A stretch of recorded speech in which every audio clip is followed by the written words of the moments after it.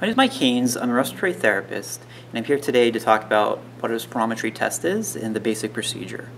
So spirometry is uh, a test that tests a patient, um, particularly with lung disease, their ability to take a big breath in followed by a big breath out. So why should somebody have a spirometry test? Well, spirometry is useful in the diagnosis of a disease called COPD. COPD is a, a chronic obstructive pulmonary disease, which is primarily emphysema and chronic bronchitis. So in order to diagnose that, we, we do a test called spirometry, which tests a patient's ability to expel air out.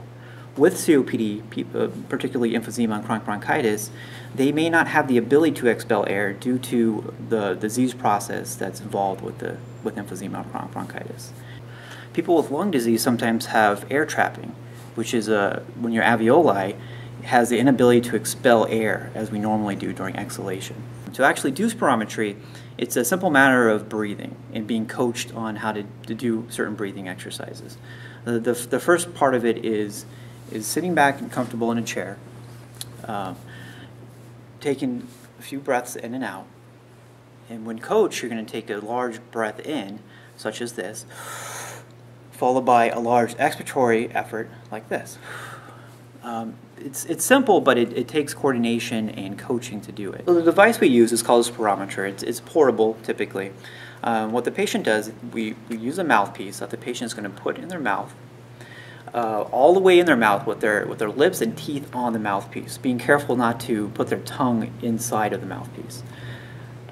We collect the, some simple data, including their age, um, their, their height typically, and based on this data, we get a predictive value of what their lung capacity should be.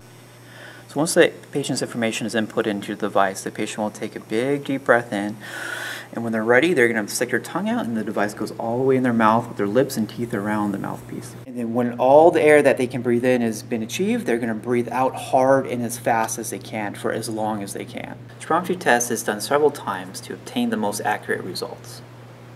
Spirometry is important in the diagnosis of COPD and also in the monitoring of the progression of COPD.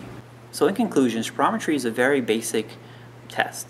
It's very beneficial for those that have COPD, including chronic bronchitis and emphysema, and it's also a, a very good test for those that may suspect they have COPD. Uh, spirometry may uh, be performed in your local doctor's office by contacting your healthcare provider.